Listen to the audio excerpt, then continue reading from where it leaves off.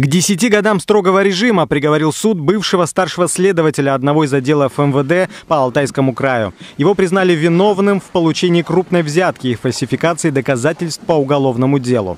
Как установил Следственный комитет по краю, в октябре прошлого года следователь предложил жителю Барнаула за взятку в 20 тысяч долларов не допустить возбуждения уголовного дела. Барнаулец сообщил об этом правоохранителям. При получении аванса в 10 тысяч долларов преступник был задержан. Кроме того, в ходе расследования расследования выяснилось, что ранее следователь, чтобы обвинить невиновного человека, подделывал доказательства уголовного дела.